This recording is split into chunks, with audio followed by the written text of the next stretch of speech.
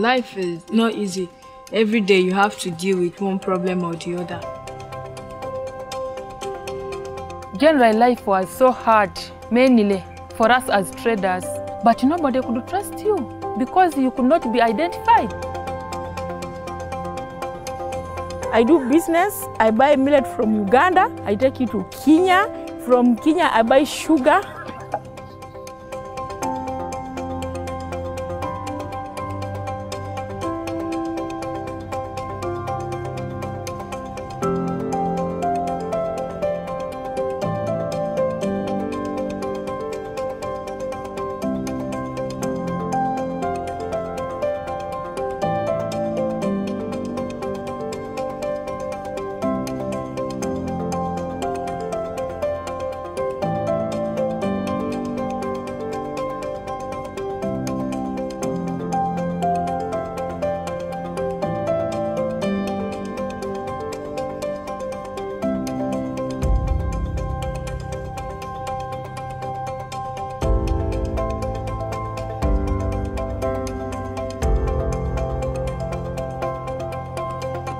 I need to keep all money in my bag, which is risky. But this time, I'm not worried because I have all the money on my foot. I can pay using my savings or I can pay using my deposit. It simplified the time and costs of trade for me.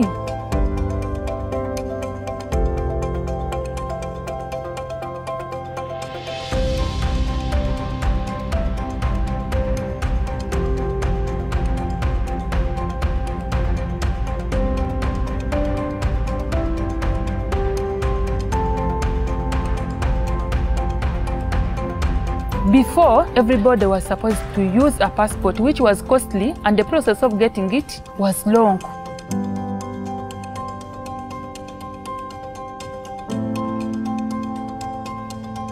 National ID, it tells people that this is Agnes. It proves whom I am.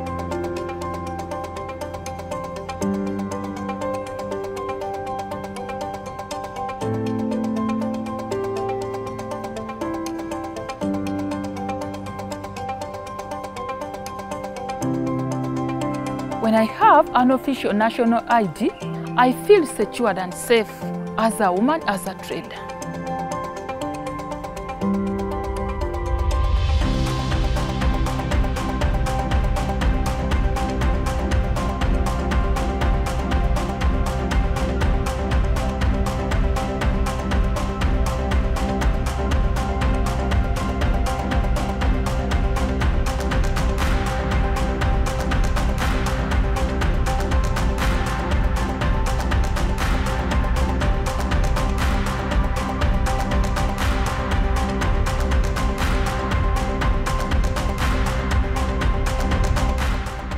Business has helped me as a single parent and I've managed to maintain my family. I can help my siblings, my friends, yeah. Women form the bedrock of our homes and by extension our society. So if we help them grow their businesses, we'll be able to have a very good economy overall.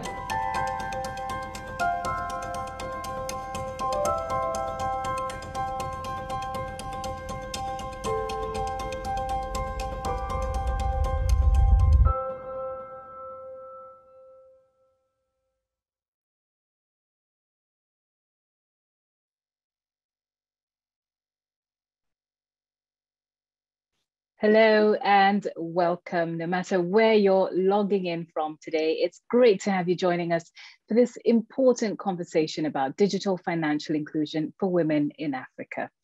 I feel that the voices we just heard in that video really highlight why everything we'll discuss in the next hour or so matters so much. As a journalist from Uganda who's traversed the continent for my reporting, it feels clear to me that whether it's women traders in Uganda or farmers in Gabon, there is no shortage of diligence or entrepreneurial spirit across the continent, but there's often a radical imbalance when it comes to the opportunities available to make the most of those qualities. Investing in women's economic empowerment sets a direct path towards things I believe we all want to see gender equality, inclusive economic growth, and poverty eradication. Of course, we've now got the COVID pandemic as a backdrop to all of this, and it's highlighted just how important digital financial inclusion is if we're going to build back as better, fairer societies. The goal of building a fairer society is one that must involve collaboration at all levels. And that's why today we'll be hearing from global champions, country leaders, and local institutions who are all deeply interested in partnering to promote inclusive recovery in Africa. This very conversation is happening thanks to a partnership, in fact. The G7 Partnership for Women's Digital Financial Inclusion in Africa was launched in 2019 to support African governments and financial institutions to build more inclusive digital financial systems. Now, this partnership is drawing from various strengths, strengths of the Africa Digital Financial Inclusion Facility, the World Bank, the United Nations Capital Development Fund, the Abdul Latif Jameel Poverty Action Lab, and the Oxford Blavatnik School of Government. Implementation resources are provided by the government of France and the Bill and Melinda Gates Foundation. So our thanks to all of them. Now, as we begin, we'll start off by hearing from a very special guest. Since 2009, Her Majesty Queen Maxima of the Netherlands has served as the United Nations Secretary General's Special Advocate for Inclusive Finance for Development. There is a short way to say that, the UNSGSA. As Special Advocate, Queen Maxima is a leading global voice on advancing universal access to and responsible usage of affordable, effective, and safe financial services. She raises awareness, serves as a convener, encourages leaders, and supports actions to expand financial inclusion at a global and a country level, all in close collaboration with partners from the public and private sector. An important focus of her work is on enabling responsible technology for financial inclusion in support of the United Nations Sustainable Development Goals. It's an honor to have her here. Queen Maxima, welcome.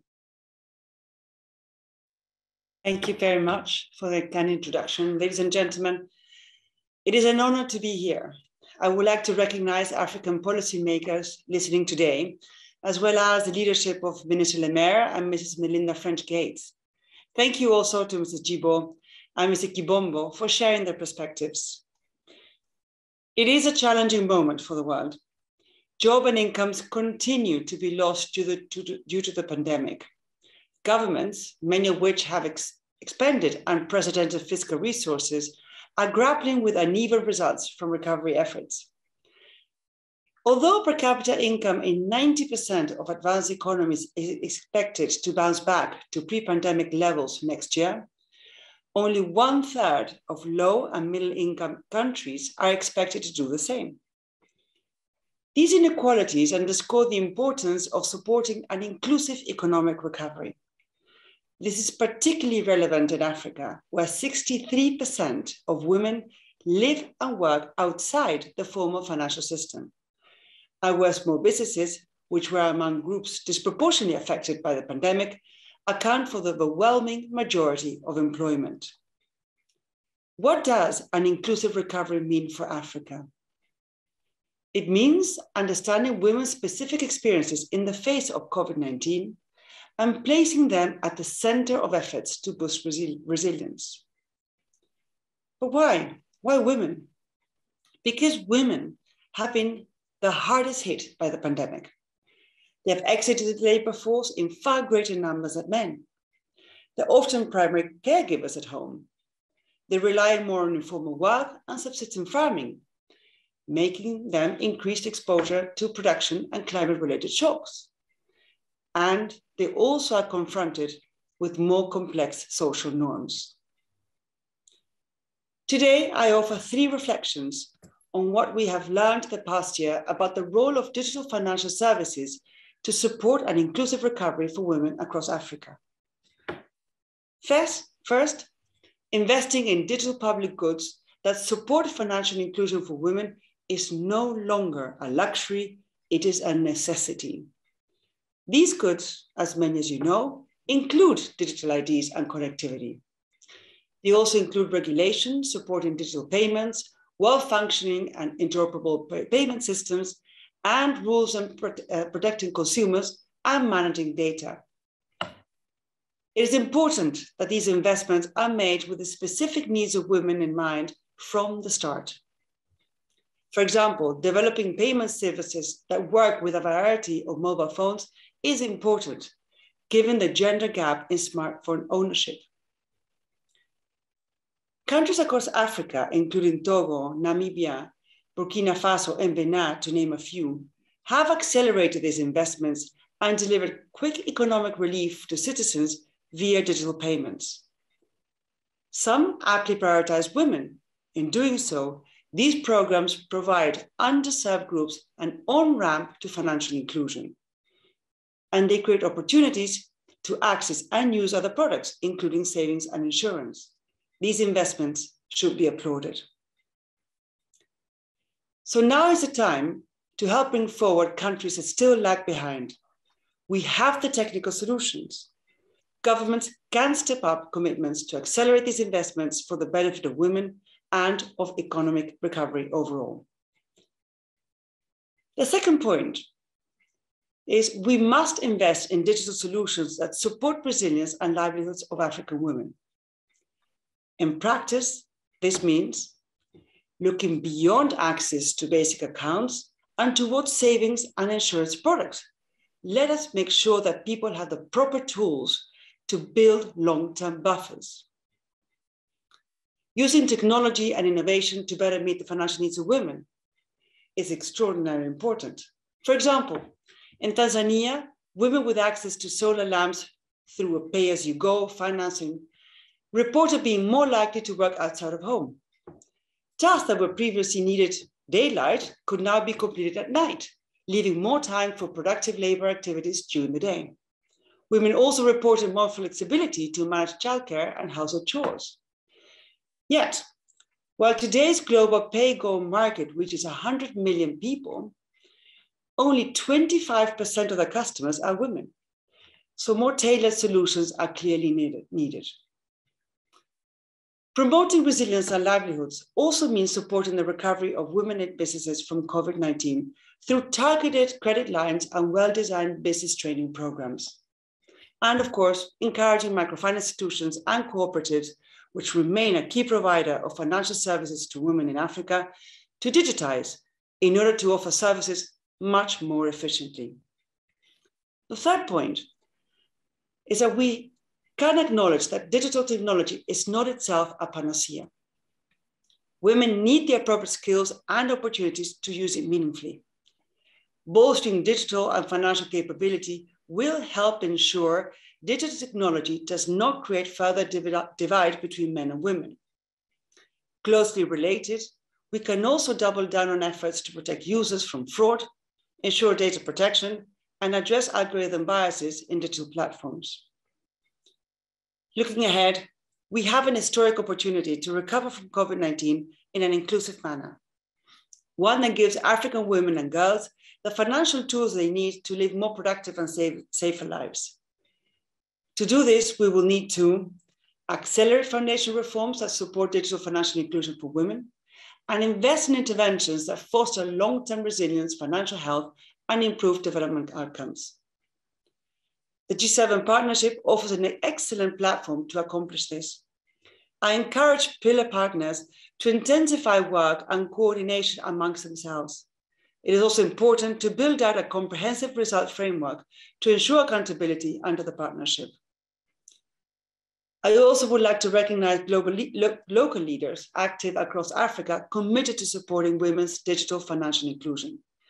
The G7 partnership pillars stand ready to support and provide the technical tools to make meaningful change on the ground. Thank you so much. Thank you very much, uh, Queen Maxima, for highlighting some really key points there. It's particularly striking the unevenness of the impact of the COVID-19 pandemic response that you mentioned and brings to the fore why foundational reforms that support uh, digital financial inclusion are so necessary.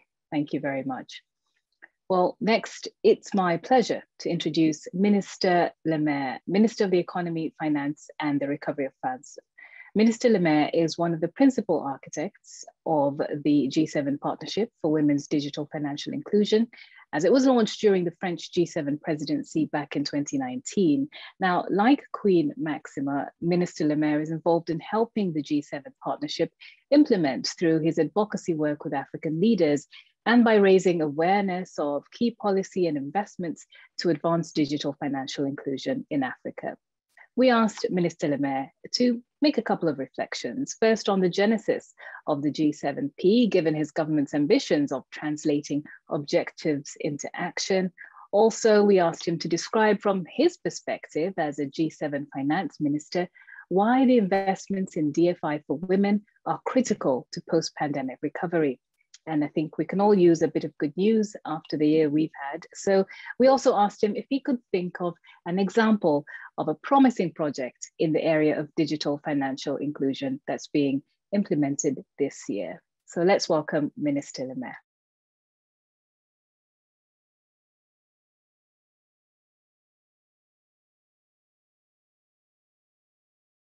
Good afternoon, everyone.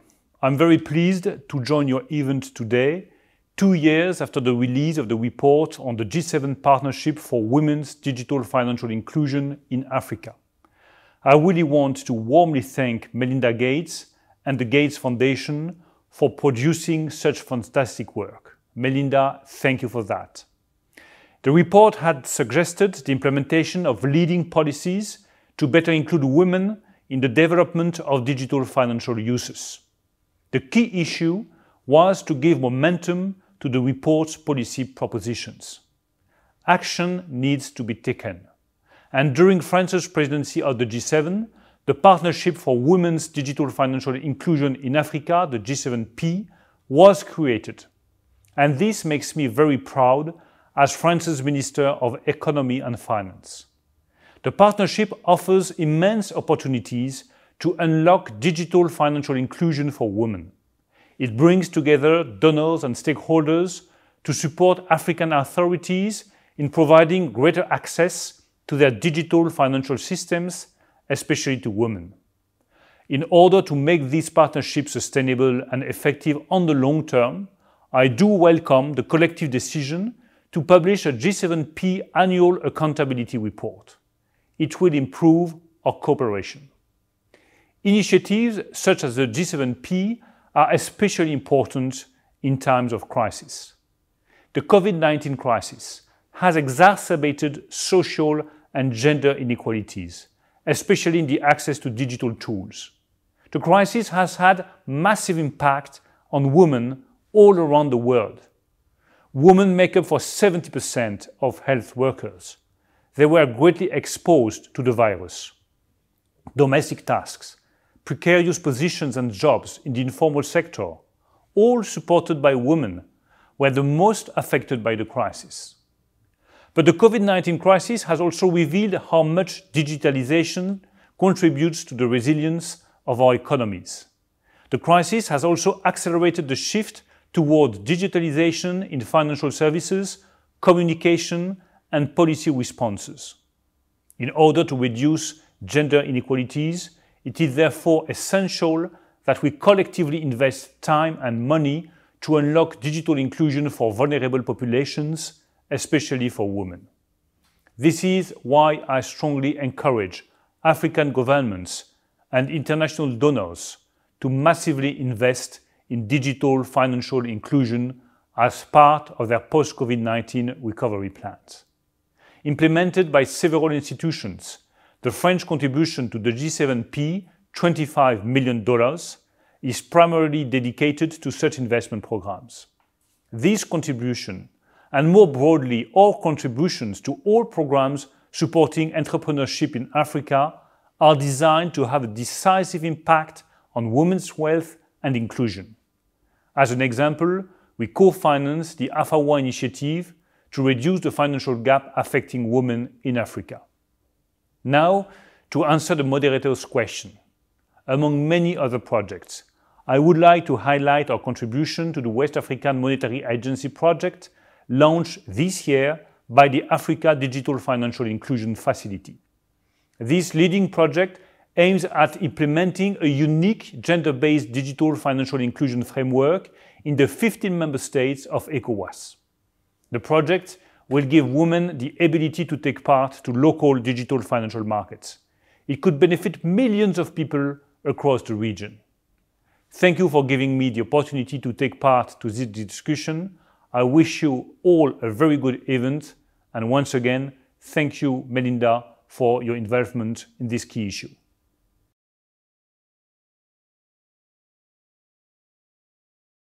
Thank you to Minister Le Maire for those remarks and how exciting it is uh, to hear about that project with the West African Monetary Agency with 50 nations in the ECOWAS regions. It means there's potential to affect 350 million people so that really could have an enormous impact.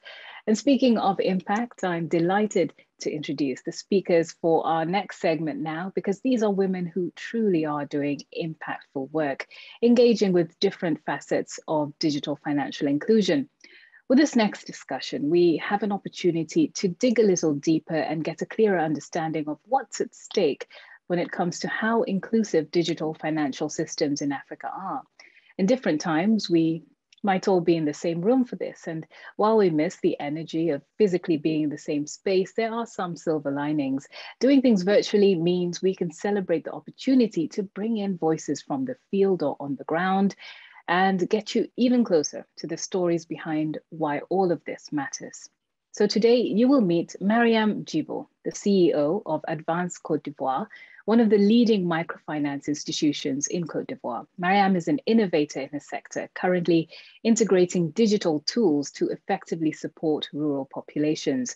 Advans Cote d'Ivoire is a member of the group Advans, which operates on three continents with nine subsidiaries. And its mission is to support the growth of micro, small, and medium sized enterprises by providing them accessible and affordable financial products and services.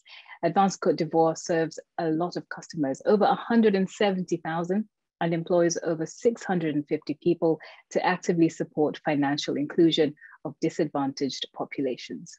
You'll also get to meet Grace Majara Kibombo. She's nearly a two decade veteran in the financial inclusion space, and she's currently the deputy director of the Village Savings and Loan Association team at CARE Uganda. Now, CARE works to help the poorest people in the world, especially women and girls, get out of poverty, serving over 60 million people in 100 countries understanding the complexities of a supportive ecosystem. Grace's work brings together financial service providers, multinational organizations, and the private sector to co-create innovative solutions and address the needs of unbanked women and youth.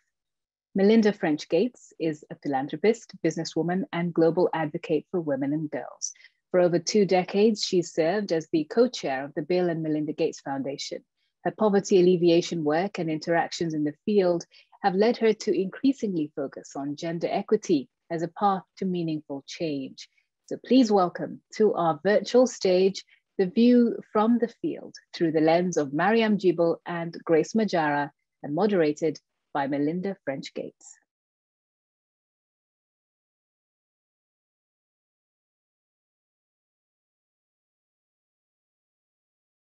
So, Miriam and Grace, so great to be with you both today. I'm so impressed by what you're doing on the African continent to help women with digital financial inclusion, and I'm looking forward to this conversation. Very glad to be here. Thank you, Melinda. Me too, glad to be here and looking forward to our conversation. Great.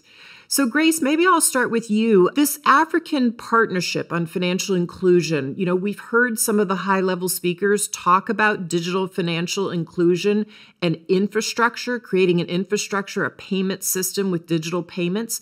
Can you talk a little bit about the communities that you've been working with and how that digital infrastructure really helps further your work? I would say that. Uh, digital infrastructure is very beneficial to the people we work with, especially the rural based women, uh, youth, especially adolescent girls. However, I would quickly add that uh, digital infrastructure without matching it with data, it is not really very much beneficial to the intended beneficiary. So I, I, would give you an example of a well-intended uh, policy in Uganda that uh, the financial the National Financial Literacy Strategy that was formulated in 2019. It's really well intended and its focus is on women, specific, specifically women, youth, the rural-based communities and other vulnerable groups.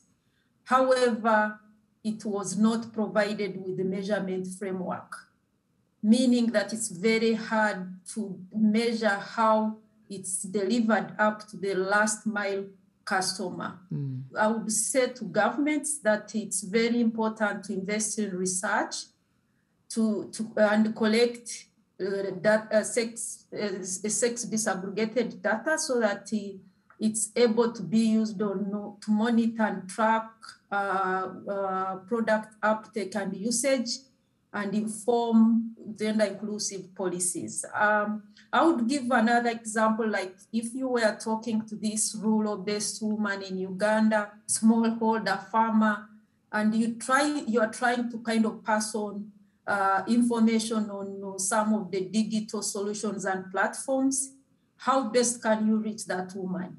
Is it through radio? Very difficult. Is it mm. through uh, TV? It's very difficult. In most cases, those women get their information from their savings groups and other groups. Uh, other groups. Sometimes they get that information from their friends and families. So it's really very difficult to kind of reach this woman if you don't provide policies that are agenda sensitive but also tailored to their needs. That's a really good example because I think so often when we program, we we often in our work and development will program thinking, okay, if I program in this way, it's going to reach everybody. But as you just said, women receive information in different places sometimes than men. Miriam, can you talk a little bit about how does this play out in your work in Cote d'Ivoire? Thank you, Melinda. I think um, infrastructure um, is is key. Uh, but first, if we take uh, some step, step backs, towards the basics. And I will give you just an example of uh, this woman. It's uh, the wife of a cocoa farmer that we met um, during a financial uh, liter- literacy class that we were giving in the western part of Cote d'Ivoire. Her name is Adjoa, and she's in her mid 30s. And she came to us because, uh, in addition to supporting her husband, to taking care of the household, she has developed a side business, a side cassava uh, cassava business. And she was attracted uh, by our offer because she wanted to save some money um, with the perspective of getting also some support to buy a tricycle to um, ease, to facilitate her supplies in the forest. And so the first question we asked Adjoa was, Do you have a national identity card? And her answer was, No, I don't. And what we understand is that Adjoa was born in the eastern part of Cote d'Ivoire. Her parents did not declare her birth. She did not go to school. She was helping her mother at home.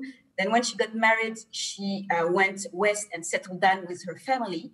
And she tried um, three years ago to get uh, an ID because she wanted to benefit from this uh, national social security system that the government of Cote d'Ivoire was setting up.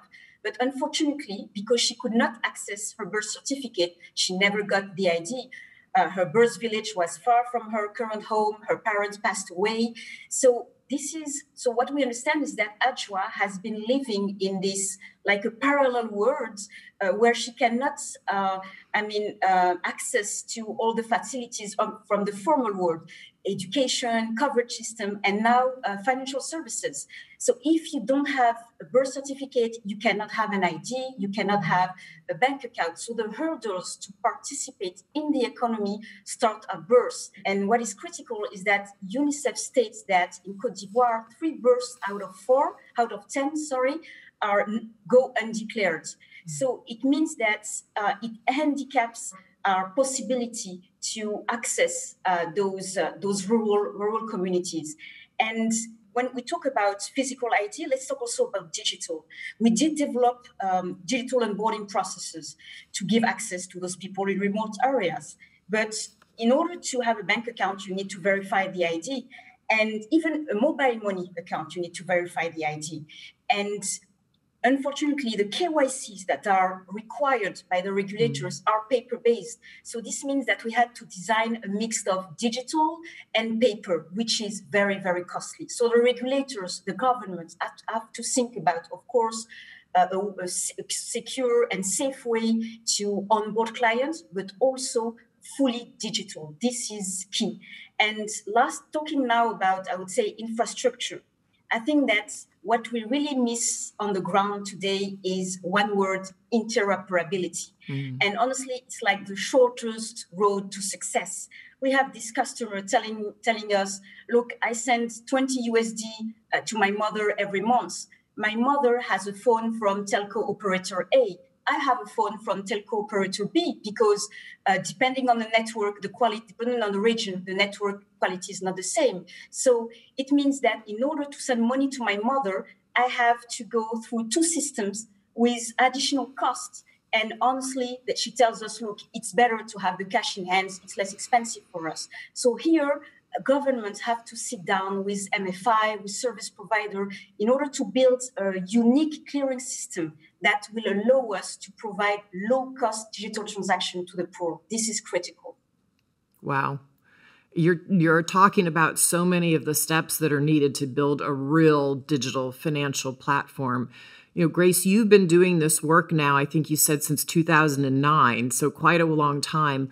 What have you seen in terms of women accessing the system? Miriam talked just briefly about, you know, when it doesn't work for a woman trying to transfer money across uh, without interoperability to another family member. What have you seen that hinders women from actually taking advantage of these accounts? Not just signing up and opening an account but actually using it. And what what do you do to overcome some of those barriers over time? Thank you very much. That's a very good question. I will start with something uh, which i usually use in my work i usually say that we are whether it's civil society whether it's private sector whether it's public we are usually quick at providing pro- prescription rather than diagnosing the problem. So you mm-hmm. find that most of the solutions and the products that are designed are more of prescriptive nature rather than addressing the problem. And the problem, I will also add that of recent, because of the, I'm calling it COVID era, because of COVID era, there is a digital COVID era where everybody has woken up and realized that digital is very important and it has provided solutions in a very difficult uh, you know, situation. So even this, this era hasn't left women behind, you know, especially in Uganda, especially in Africa, East Africa mainly, we've really depended on mobile money transfers. You, you transfer money you to buy products, you transfer money to get treatment and all that. And women have been part of that ecosystem. However, that ecosystem of COVID era has also been more prescriptive nature rather than uh, diagnosis. So I will give an example where, uh, you know, I've worked with so many women in savings groups and I met this one woman in one of the projects that I was implementing in Uganda. So this project was providing uh, women with a chance to open bank accounts. And uh, when we interacted with this woman, like any other member in that group, they had phones, but these were future phones but the product was designed in a way to depend on that future fund. So it was possible for this woman to open bank, a bank account and be able to transact using her phone. And we said, in our hearts, in our mind, we have a solution for this woman or women like her. So the, many of them, uh, you know, signed up for the account, but none of them completed the process of mm. account opening. So we said, oh, what is happening? So we went back to interact with this, these women and particularly this woman I interacted with and her story was really capturing. So she told, she told us, I have a phone, but I can't open an account. We said why. She didn't at the time know the answer because even the bank itself had not explained very well to her in a simplified you know, explanation to her to understand why she couldn't open an account. So further investigation, we realized that she had a phone, but the SIM card in that phone was registered in her, her husband's name. Mm-hmm. And yet it's a requirement for her to open a mobile bank account. So, and the, when we tried to support her to change the, the, the, SIM card into her names, it was not possible. The husband would not really mm. allow her to do so. You know, that was the roadblock number one. And then that's when I realized, reflecting back, that uh, in, in recent development, we are talking about technology as a, a, a, a, you know, a solution, but it's not in itself a solution, especially women financial inclusion. We are forgetting the social norms that come up, come up with the, you know, the setup of our society, the setup of the way how we live our families and things like that. This woman went ahead to tell us that even using this phone was causing problems with her husband because the husband wanted to know and he would check whom she had talked to, mm-hmm. which, which call has come in, which call has gone out. And in the process, she was, he was also checking the SMSs would, that were coming in, meaning that she would find it very hard to even deposit money on her mobile money wallet, meaning that even her privacy was taken away from her. Then to make matters worse, she told, she told me that, look here, even when I save, you know, uh, savings groups allow these women to come together. They save, then at the end of nine months or 12 months, they share out so that they have a lump sum that they can use either to invest or even accumulate asset.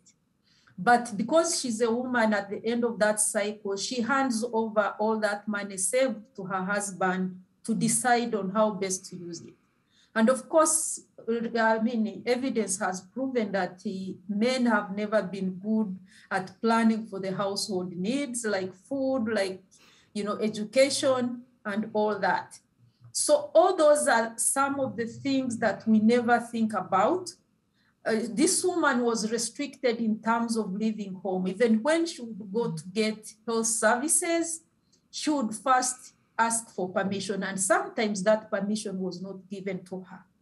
So when we are kind of, you know, coming up with solutions, we never think about some of those untold financial inclusion barriers, which is the big elephant in the house, the, social norms and uh, you know and nobody is willing to even look at there when we are designing policies when we are designing products when we are implementing we usually forget about the impact of the social norms and how women have failed to benefit fully to get their financial autonomy from you know from their efforts because of social norms. Wow that is incredibly helpful grace because i think so often we don't think about what are these other pieces going on in the home or the community that's holding a woman back. What is your experience, Miriam, in Cote d'Ivoire? What's keeping women from saying, This is for me, I want an account, or I want to use this account now that I have it? I think something we have to acknowledge is that we have we are still living in a cash culture. And so we do have, and it will be the, the case, I think, for the next 20 years, it will be progressive. You know? So we have to design system that takes into account this cash culture and I would say its associated value, which is trust. It's, it's critical. So at Advans Cote d'Ivoire, we realized that, that we needed to do um, to do more in terms of building trust and uh, acknowledging this uh, this cash culture. Customers they need to uh, make sure that the cash is safe. They need to make sure uh, that the, cash is there. Um, they don't know you. So what we decided to do is um, uh, three things. The first one is that we build a team of 30 financial inclusion trainer. Um, they each cover an area of about, I don't know, 75 square kilometers, and they go from village to village. Uh, they give classes where they speak about what is a bank account, where does your money go when you put in a bank account, what is behind your phone when you have a digital tool, what is a saving, etc., etc. And it can take up to sometimes four visits to a same village to open only one bank account. But it's absolutely necessary because the institution needs to be embodied. The relationship to the institution needs to be embodied. The second thing we have done is that we have decided to partner uh, with economic uh, association cooperatives or the VSLAs that are built by Care, by Grace, sorry, and um, and her colleague at Cares. Uh, not only those partners uh, do they connect us uh, to the rural communities, but we are able to base our relationship upon the existing relationship uh, from care or from the cooperative. So we build upon uh, the existing trust, the existing uh, relationship, the existing legitimacy of these uh, of this association because they don't know us. So referral um, helps uh, building this trust. And lastly, because we understood that um, the customer need to be reassured that his cash uh, is available at any time. Um, you know, we have people that are used to put money under the mattress and count it every night. Um, so when we realized that, we decided to partner with a local community leader and ask them to open uh, an agent network, so a fully, a completely rural agent network in the village so that the customer can transact, so cash in and cash out closer to home, but also with somebody they know. And this is where um, uh, coming to access and usage, the fact of uh, building this trust, the, fam- the fact of giving access at any time uh, to the customer to his uh, to his account is is essential, and we need help from the government in order to design a regulation around agent network, which is of course uh, safe for the customer to transact at a given point, but also flexible enough to fit the needs of the poor and the rural communities. I really like how you've both given us extremely concrete examples about how the pieces need to be built one on top of the other to pull women in. And I think it's so important because not only then can they transact digitally, but then we also know governments are putting a lot of digital social protection payments in through these systems because they realize if it actually reaches the woman, not the man in the household, she'll spend it on the family. So it's really great to hear how you all are connecting these ideas to both what the high level is is being discussed on the policies and platforms, but how it really then plays out on the ground for women and families. So I really appreciate that. I know you are a famous advo- advocate for women economic empowerment and equality. I've been a fan of you. And in my stream of work, I work with so many strong women, uh, probably who have a lot in common with you, and they are caring for their families and are leaders solving problems in their own capacity and world. How can we bring in and elevate these women's voice who do not have a global platform, uh, but can articulate these, their challenges that affect them and help contribute towards desi- designing their own, their own solutions, but also informing policy?